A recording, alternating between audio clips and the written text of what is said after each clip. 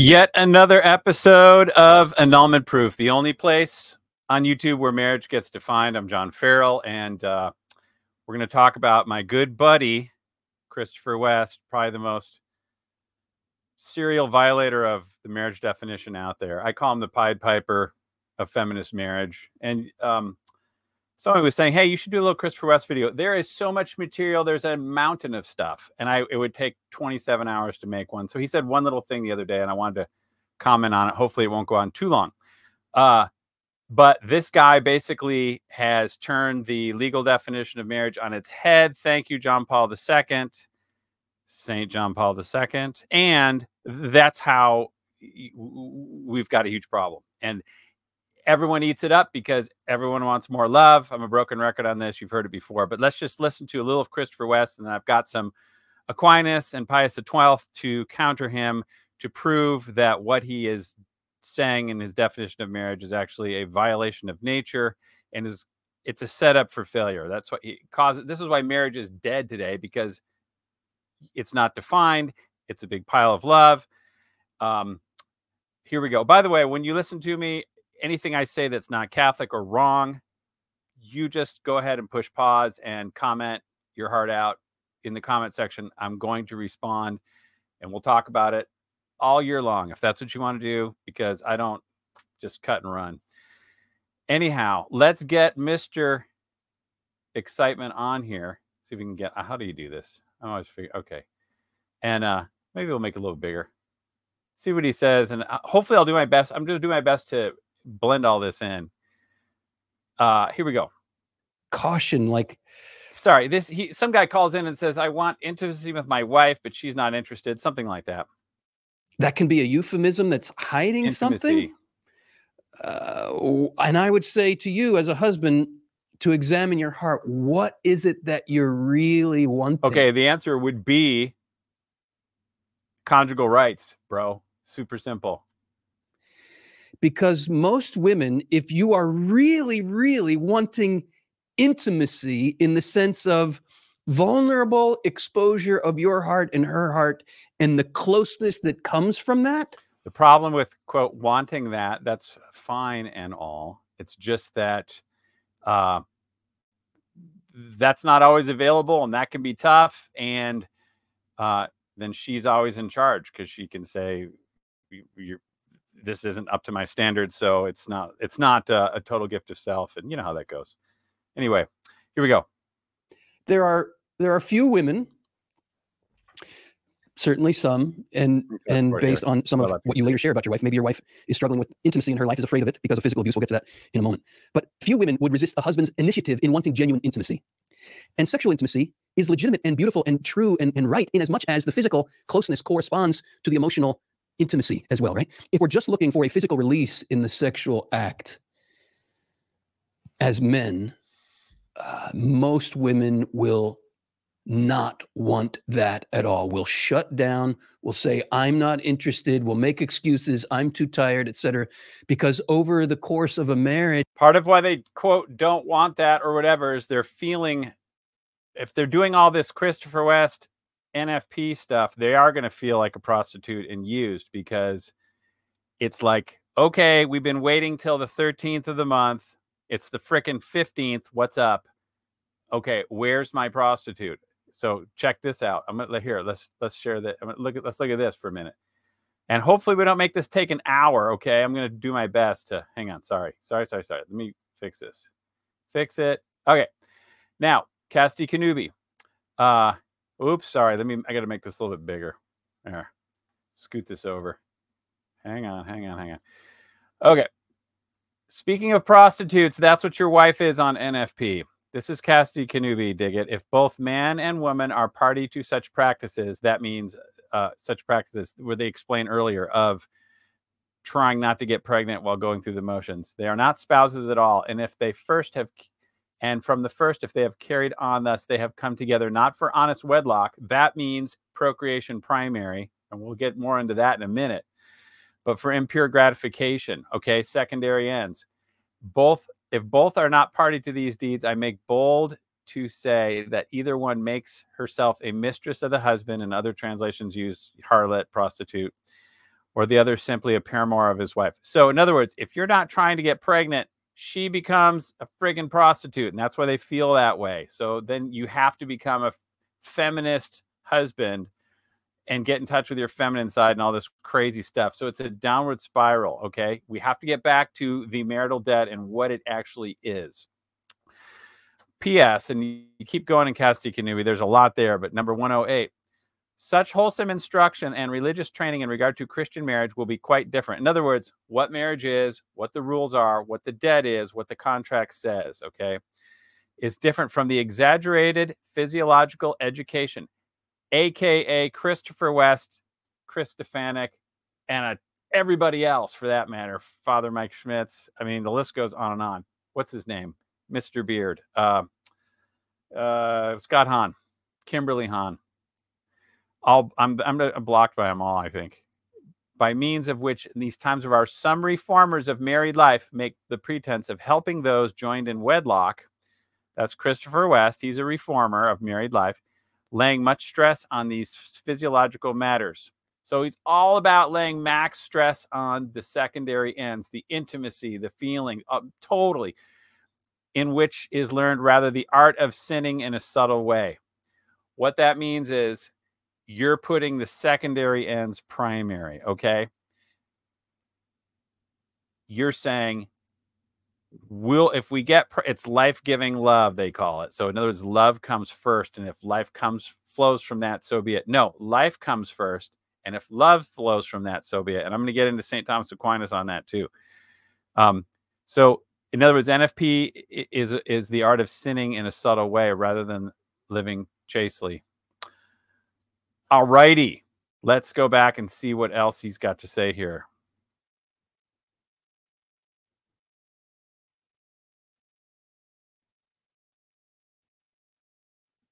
This is just code for there's no marital debt. Obviously, you shouldn't use your wife for selfish pleasure. However, you do have a right over the body. There is no right to this union of heart and mind and all that crazy stuff, which I'll also get to from Pius XII.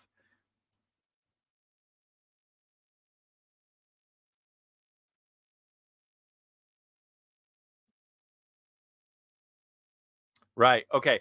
If she knows that that's grave sin and she goes to hell for that, she probably wouldn't do it. Hopefully, you marry the right person that understands, you know, heaven and hell and all that. But if marriage is just like this deal where you have to get consent every time, which is not true, then he he has a point. Eh, but he's wrong on the definition. Oh wait, wait, wait, wait, wait, wait, wait, wait. I'm hoping I wasn't rambling with with let me I got I had the wrong tab on here. This pardon me, just a doggone minute. Hang on a second.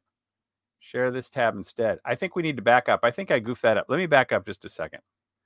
Here. This is what I meant woman, she's going to recoil from that and make various excuses. I have a headache. I'm too tired, et cetera, et cetera. And here, I just want to reference a very important statement. Yeah, I have a headache. I'm too tired. Wrong. It's not marital debt. Duh. From Pope John Paul II in his Theology of the Body. This is, after all, the Theology of the Body Institute channel, right? He made headlines around the world in 1980. It was during a Wednesday audience address that was part of the Theology of the Body, in which he said Jesus' words in the Sermon on the Mount if a man even looks lustfully at a woman, he commits adultery in his heart.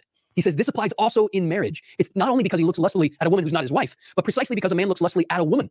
Right? Marriage does not justify uh, a man treating his wife merely as an object for his selfish pleasure. When John Paul II said this in 1980, headlines around the world, things like this Pope condemns sex even in marriage. Another article said something like this Well, if you can't lust after your wife, who can you lust after? And the proper response to that question is no one. This is a little bit tricky, but there's no such thing as marital rape from a legal perspective because consent happens at the wedding. Okay. So you have rights over your spouse. Okay. So because you have consent, this is why what John Paul II is saying has never been said ever because he's flipped the legal definition of marriage on its head. He's saying the foundation is not the right over the body for procreation, it's the right to the personalist norm. Okay. Lustful sexual behavior, in and of itself, is a terrible adulteration of God's plan for human sexuality. So this is the whole heart of the friggin' talk right here. Adulteration, adultery. This is the definition of adultery he gets right. And this is really good what he says here. But hang on, I got so much to get to. What does the word adulterate mean? It means to alter from its original purpose. Exactly, which is why divorce alone is adultery because you're altering it from its original purpose. Even you don't have to get remarried. Just separation is adultery because marriage is the legal right to live together. Uh, that's a side note. The original purpose of the sexual union is the total gift of self. When I heard this, I slapped my forehead. Let's listen to that. What did he just say? Hang on a second. The sexual union is the total, total gift of self. Gift of self. Wrong. The original purpose of marriage of the conjugal act is the total gift of self. Buzzer, wrong. It's the right over the body for acts suitable for the generation of children. That is the original definition. That's all it that's what it is, okay? And you can't change it cuz it's nature. This is why he violates nature when he says no, the natural purpose of natural marriage is the total gift of self, which has no definition legally, which is why marriage is lawless. We might as well jump to uh, the other um, show notes here while I'm while I got this while I'm thinking about it. Hang on, share this tab instead. We're going to blow through some of this here. Sorry. I, okay, here we go. Oh, but no, no, no, no, no. Give me give me the bigger thing. I want I want this. Wait, excuse me. There. Okay. So, what is marriage? Here's Canon 1081 from the 1917 code. Uh, consent is the right, exclusive right, the perpetual and exclusive right over the body for acts which are suitable for the generation of children. Primary purpose. You don't have to generate total gift of self or maximum love or any of that kind of stuff. You just have to generate children. That's what nature is. That's why we share that with the animals. Okay. They generate offspring, they don't generate anything else. That's all you need to be able to do. Okay.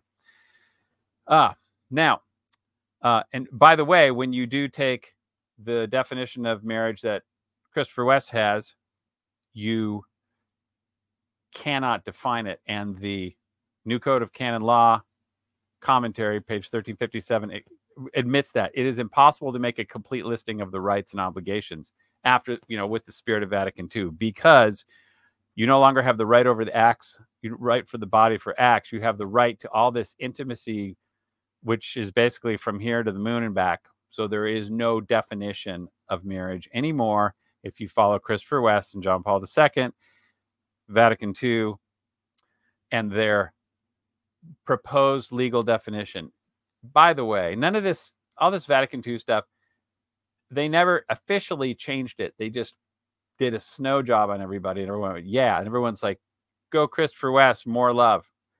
It's not the real definition. Let's see what else we got here. Um, while I'm on it here, the primary end of marriage is the procreation and education of children. That's the primary end, and we're going to get into what primary means and nuts and bolts, like basic logic, okay?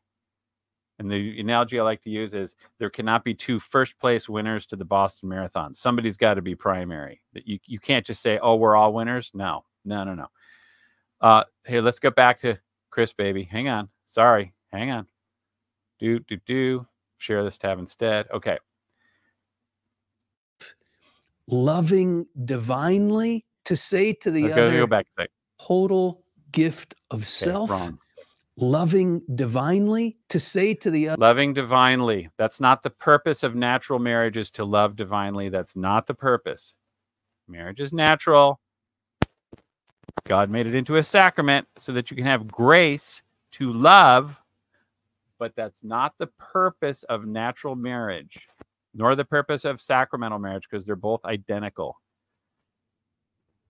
Other I give my whole being to you. Spare me, bro. You can't give your whole being to anybody, okay? It's it's not you can't do it. So therefore you can't consent to that because it's not possible.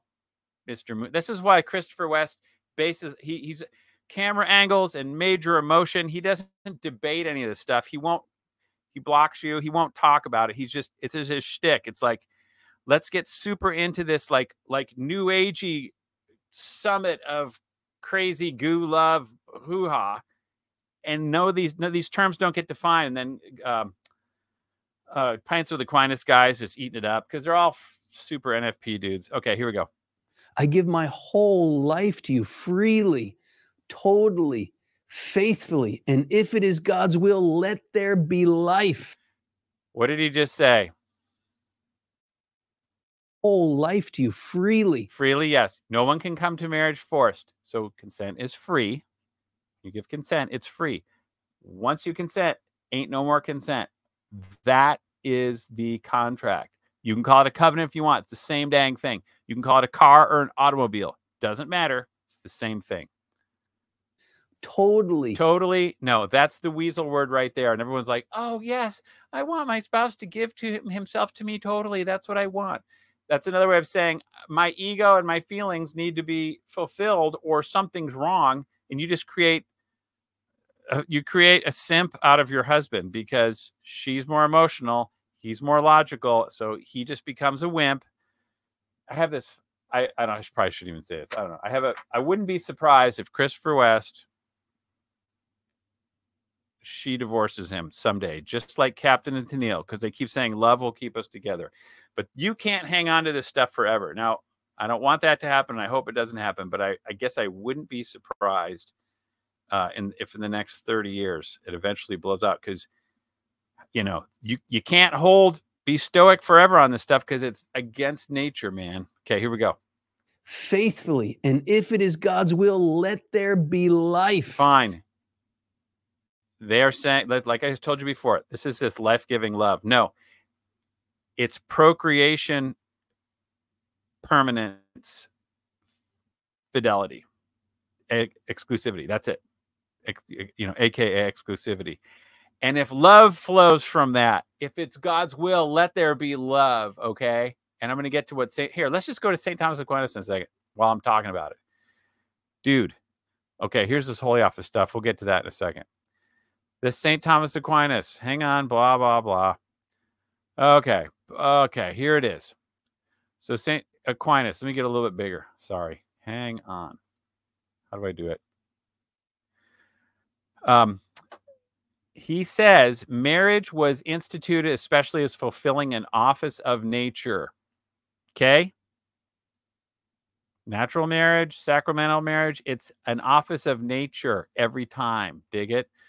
Wherefore, in its act, the movement of nature must be observed according to which the nutritive power administers to the generative power. So biology takes over and kids happen. That alone, which is in excess of what is required for the preservation of the individual. What that means is life is first, generation is first. Everything that flows from that is for the rest of the stuff, the secondary ends, the the unitive meaning or whatever you want to call it, the warm fuzzies, the bonding per what's her face, um, Kimberly Hahn, all that junk. Um, so St. Thomas Aquinas does define marriage correctly, procreation primary. That which is an excess. Okay, so the preservation of the individual comes second. That because, okay, listen. For the natural order requires the natural order. We're talking nature here. Go, but go, uh, Butker. What's his name? Harrison Butker. There's nothing natural in NFP because the natural order requires that a thing should be perfected in itself. What does that mean? That means we have to define what is perfect marriage.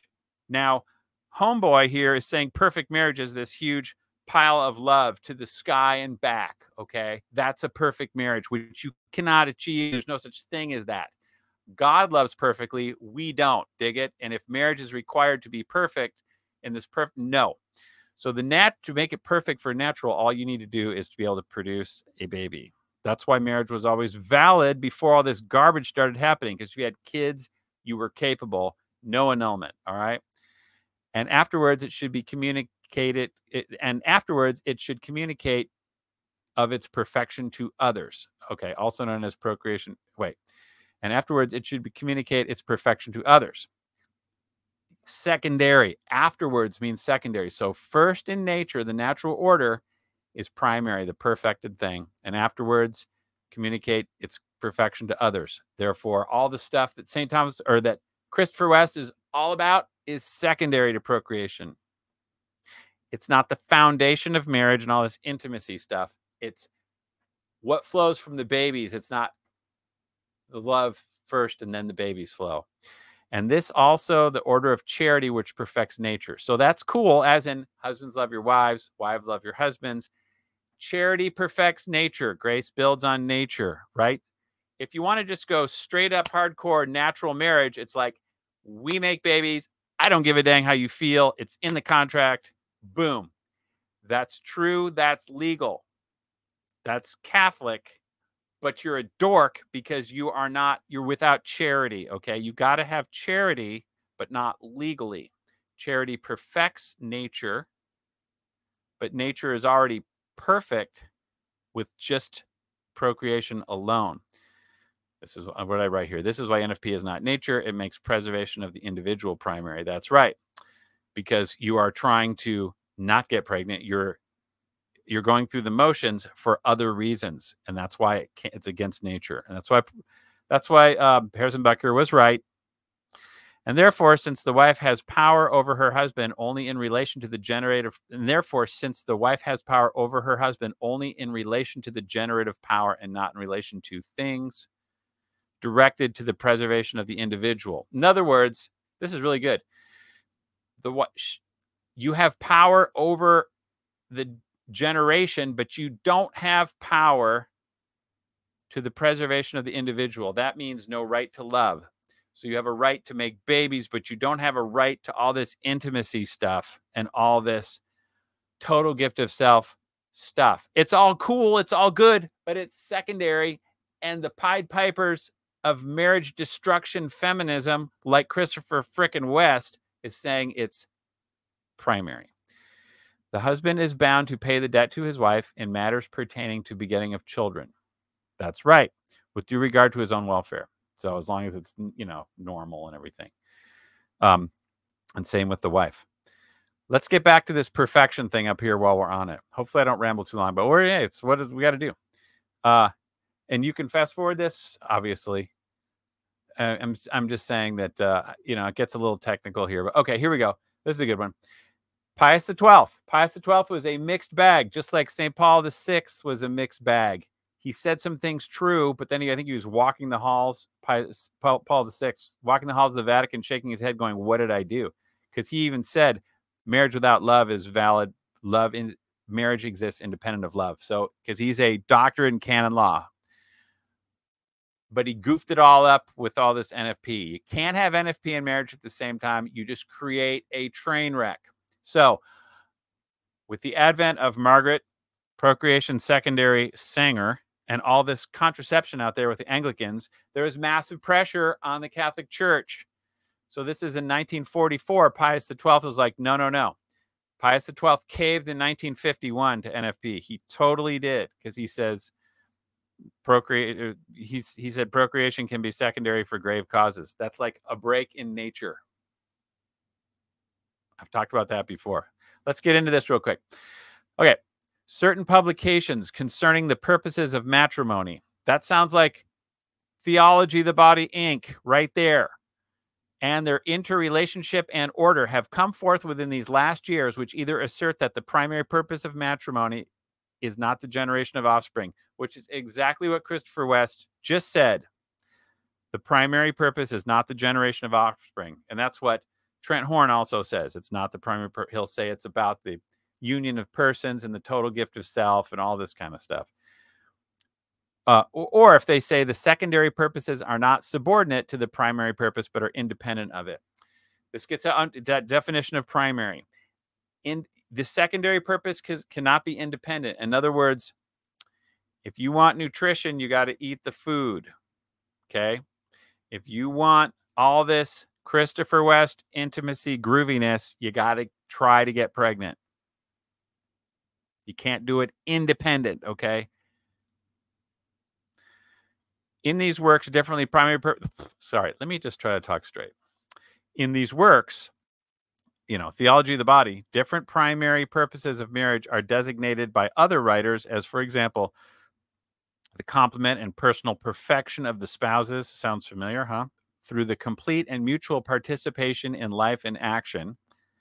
Yes, complete mutual participation. That's exactly what Christopher West is saying. Total, okay? Complete participation of life. That's total. This is then they put it in canon law, the new code. That's how goofy this is. So if they're saying that mutual love and union of the spouses to be nurtured and perfected by the psychic and bodily surrender of one's own person. Person is Christopher West's favorite word. He says it with a pregnant P. And and many other such things. In other words, all that stuff is a pile of trash when you try to make it independent of procreation. Okay? That means you try to you consider this what we need first then procreation flows. Wrong. Totally wrong. Man, in the same writings, a sense is sometimes attributed to the words of in the current documents of the church. As, for example, primary, secondary purpose, which does not agree with these words according to common usage by theologians. Yes, that's right. Primary means something. It doesn't just mean whatever you want. That's like people people say primary purpose of marriage is procreation all the time, but then they they totally consider it secondary in action. They just give it lip service. so it means something. This revolution, this is all Pius XII. We're almost done. This revolutionary way of thinking and speaking aims to foster errors and uncertainties. Christopher West is a is a revolutionary promoting error and uncertainty.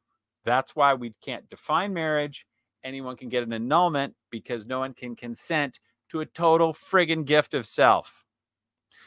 More, let alone cons- consummate a total gift of self. That only happens at death if you happen to live on the cover of a romance novel for your whole marriage. To avoid which, oops, hang on. Let me undo whatever I did. Okay. Where was I?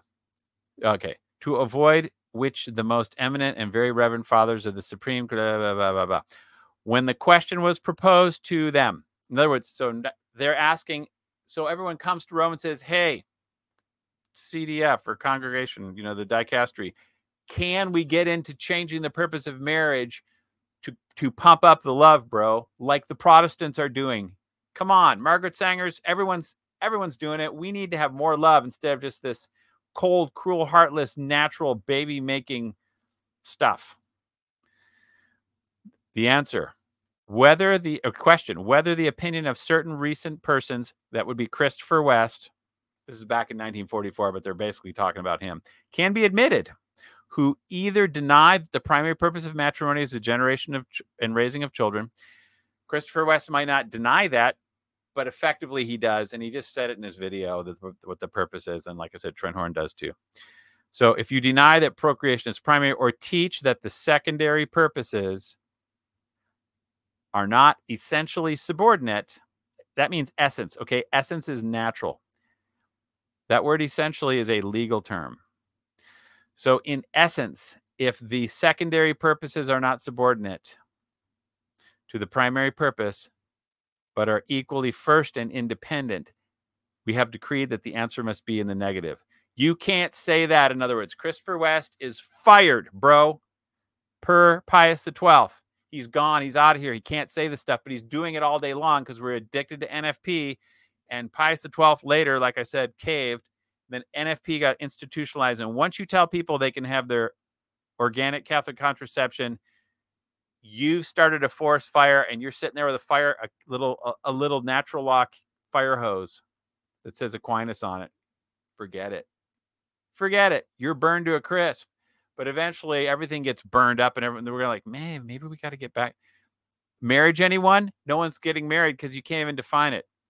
So essentially subordinate, but all are for equally first and independent. So a purpose that's primary must be first and independent because prima Primera, primary means one, means first. A purpose that's primary has to come first and it must be independent. Otherwise, it can't exist. What came first, the world or God? Obviously, God, because the world can't exist before God because someone had to make it. So the world is dependent on God. They're not codependent. They're not mutually, eh, they're not, they're not inseparable. Okay. Neither are procreation and quote unity inseparable because procreation comes first and independent. It's got to be independent. It's it's like I said. They, they here we talked about what is it? Uh, essential perfect. Oh wait, we'll get to the essential perfection part. There. Hang on. Let's go down here. All right. So anyway, that was in 1930, uh, 1944. Now then, on a related note, there's this Crisis Magazine article, and I got a quote from it. If law is divorced from the marriage of faith and reason, in other words, it's not reasonable to have an undefined, unattainable primary purpose. It's like buying a car where you never tell them what the price is, and the price is infinite, and you want them to buy it. Just make payments. You can't do it. It's just no. So if law is divorced from the marriage, it disintegrates into nothing but that which serves the merest whim of whoever happens to wield power. And the reason why I say Christopher West promotes feminist marriage is 90% of the time, the wife wields the power because they're the ones who do the divorcing because they're ruled a lot of times by emotion. Okay. Another name for this sort of law is tyranny. That's why there's MGTOW and all that. People aren't getting involved because marriage law today is tyranny because there's no law, because the primary purpose is JP2, Christopher West, undefined. It's lawless. Now, let's get to one more thing as far as what, let's get to the nuts and bolts, the basics of the primary purpose. This is from Mr. Uh, long-winded guy who's really good. He's getting old now. He's in the he's I don't know where he is exactly. Um, it's uh, uh, Marshner over there at you know Christendom College. Marshner's good. This is his article. He says, "Here's the way that Father Anthony Ostheimer stated the, this matter about primary purpose in his far-reaching the, the the family a Thomistic study." Okay, this is like basic 101 stuff that none of us knows anymore. The primary end of anything is the principal good for which a thing exists.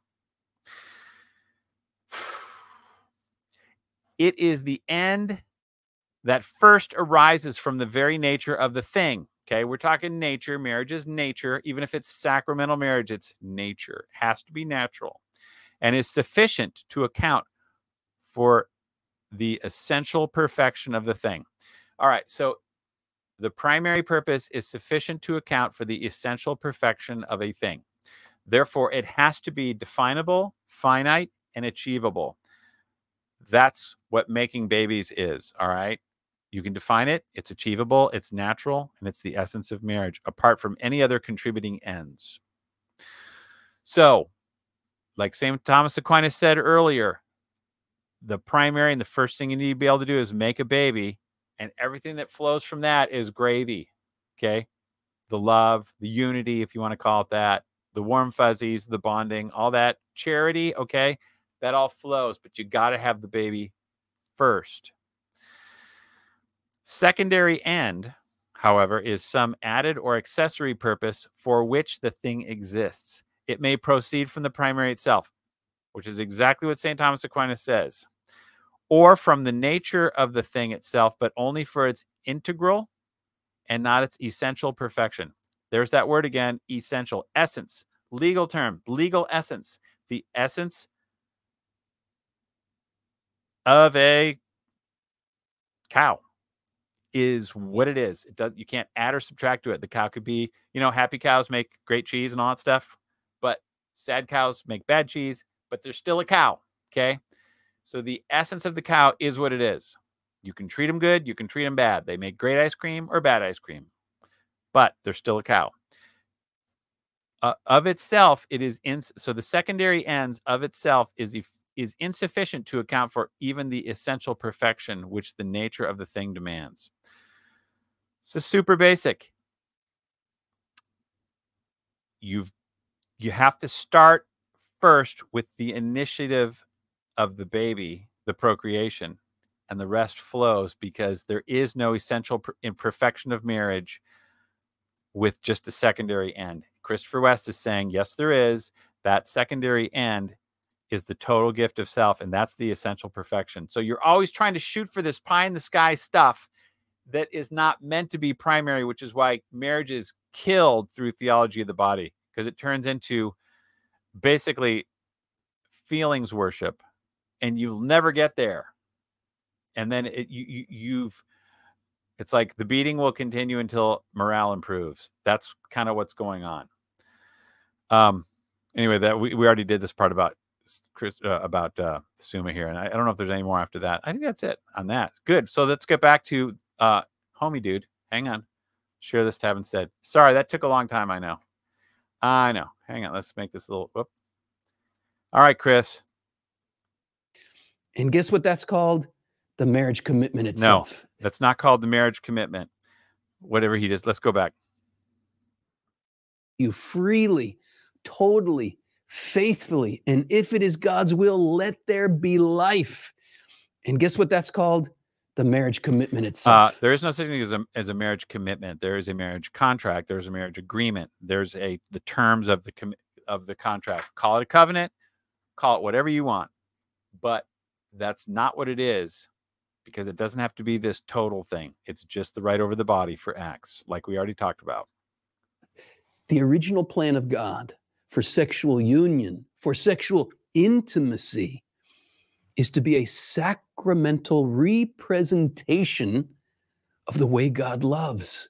All right, so this is more vintage Christopher West stuff, which I don't know if I'm even smart enough to untangle, but it sounds so good. All this like it's the you know marriage relations are Eucharistic and they're so deep and ah. The main thing we already covered in this video is what he said, which is marriage is this total unity of hoo ha, and that's where he's wrong. Everything flows from that bad. Okay. That's where Christopher West is wrong. Uh, that's why he goes on and on trying to prop up his secondary is primary stuff. That's why he doesn't talk about primary and secondary. He doesn't because he can't. That's why he doesn't debate. And God loves through that marital covenant. I have betrothed myself to you forever. God can make covenants with people, but God is the initiator of the covenant. Okay. When you get married, each the each spouse initiates the contract. And it's God doesn't initiate the marriage contract, the spouses do. God says to his people. That's why marriage is a sacrament. No, marriage is a sacrament to give grace to nature because nature is we're making babies, period. You can feel good, bad. I don't give a dang, whatever. That's nature. Just like your average aardvarks, get it together. Or, you know, it's like, hey, dude, well, here we go. We're making some aardvarks. But it's a sacrament so that charity can enter and add to the contract, but it must flow afterwards, not before. It's not the basis of marriage the contract to create babies is the basis. This stuff flows from it. I think I've beat that up pretty good. Hope, you know, whatever. Anyway, I'm making these videos because I could put the stuff on Facebook for years and it's hard to get traction. I'm, I'm blocked so many places, nobody even listens anymore. This is too tough. Because it's meant to reveal divine, life giving love in the world. Life giving love. There's that phrase again, which you want to avoid. Life giving love is a diabolical inversion of the definition of marriage it's it's love giving life. Life is first not love because nature is the contract to make a baby not to make love. Sexual intercourse properly understood. Properly understood is is code for the way i understand it as you know that's what the, is meant to be an expression and renewal of wedding vows. Now, no, No. Okay. All that. That's the other thing everyone says. This is my renewal of my wedding vows. That's why they have to have consent every time. No, it's not a renewal of your wedding vows. Your wedding vows were one time. Okay. Eh, charity is your, your wedding vows, but it's not the contract. Contract is just to is to make babies, okay? It's not a representation of your wedding vows because consent only happens once. Christopher West says consent happens every time. That's because he's saying the secondary ends, mutual love, all this stuff requires consent because you can't force love. Okay. This creates nothing but lawless marriage, as I said, where you're constantly consenting, which means you're beholden to the feelings. You're you're trying to pop the question to your wife, and then she says yes. Okay. You got that done. She can say yes or no. But after that, there ain't no more questions and answers. It's answered, it's done. He's saying it's perpetual. That sounds nice, but it ruins marriage because you got nothing. Now, if this, my brother, is what you are wanting to say to your wife, and she is putting up resistance, I'm too tired, I'm not interested, etc., etc., then chances are there's something going on in her heart. But if your heart is like, really, I don't want true into me see intimacy, right? As I once heard it described, into me see, kind of clever, but also insightful. If we're not being truly vulnerable there in the marital act, right? If we're not really wanting to renew our wedding vows, really express deep affirmation Bro, chill out. of my spouse as a person, but we have that consumer usorial attitude that we learn in a pornographic culture. What he just said is the marital debt is pornographic culture. That's what he just said. This consumer usorial attitude. Um, that's code for marriage is love, not procreation. And he says all this stuff, and everyone's eating it up, but because they not they this hasn't been explained, and all they get is this avalanche of marriage is love from everywhere, USCCB on down, and no one can untangle it because you uh, uh, sorry because NFP is at the heart of it. NFP requires Christopher West and JP2 to exist. Theology of the body is the is the delivery system for legalized NFP. Without theology of the body, NFP falls because you can't you have to have the secondary purposes as primary to get NFP to fly, which is why they had to do this to rescue Pius XII, who said procreation is primary except when it's not. Her resistance would be understandable. Now, let's get to the second point here. We've gone to Almost counseling, done. and a history of physical abuse in her life came up. Do you have any advice? Without a doubt, my brother. And here I have great sympathy for what you have certainly suffered in this situation. Without a doubt, there are wounds. Yeah. So basically, he's saying, okay, my wife's got daddy issues, and who knows who all else, and and she's been abused, so she can't quite open up, and she's frigid, and she's this and that. The solution, though, is not more theology of the body because it just fuels the I have to feel good stuff, and you're just feeding the wound in other words you're kind of keep it going okay? You have to let them know that the the the marital debt is the contract and with grace it can be it can be made more palatable or you can get into it more because you know this is what God wants and ask for grace to do that. But if you don't know that's what it is you're constantly trying to just feel better and then the husband is doing everything he can to make her feel better and it's just this downward spiral of feelings because that's not the nature of the contract. When you fight nature you lose and that's what theology of the body does which is why there's massive pushback that people can't you don't really hear about a lot but all this anti-nfp stuff that's like it doesn't work it's a drag it's retarded but it's politically incorrect and that that sentiment has no voice. No one's out there explaining how trashy NFP is on the marriage because that's just super not PC and no one will touch it because their career is over. If you say NFP is evil, if is is intrinsically evil. But since I have no boss, no life, no nothing, I can say it. But if I were working at Catholic University of America or if I had a podcast that I was trying to make money on or something, eh, no way. In your wife's heart that compromise her ability to come to the marriage bed with an open heart, with vulnerability, and with a desire truly to be a gift to you. There's a wound there. And in a certain sense, you know, we we are all so deeply wounded. grew up in this pornographic culture. We all have sexual wounds. But when there has been you guys got to listen to Stanford Nutting, man. God. Specific physical. What's his name? What's his name? Juan Corpus Delecti. Sexual abuse. Those wounds go very, very deep. And they do compromise a person's ability to enter beautifully, freely, and with joy into the marriage bed. So, when you try to make the secondary ends primary, you just create problems because it's not natural. You can't you can't tell God how marriage is going to be. God tells us, and everything else is like doomed to failure. You can try to keep it up for a little while, but uh-uh. My advice would be buckle up. All right, that's, that's the end of it. I think I've rambled on long enough. So anyway, um, uh, in fact, I know I've rambled on long enough. Um, uh, I don't really hold care about the all the like and subscribe stuff. Did I mess something up here? Hang on a second. There was one thing I wanted to show you. Let's see here. I had it. Sorry, here.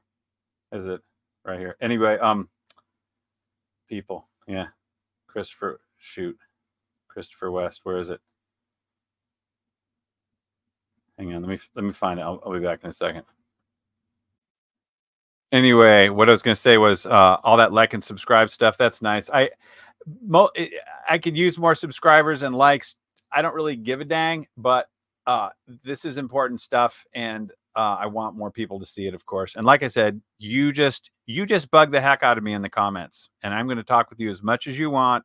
No running away. I'll put a bunch of notes in the in the show notes and all that stuff. And I, I guess that's a wrap. Uh, there's so much more one could say about Christopher West, and I don't do it perfectly, but I try my best. But um, I want you guys to blow me out of water or whatever is the problem, and we'll see you next time. There, there you go. That's it. Sorry, sorry, Christopher. Maybe we'll be friends someday.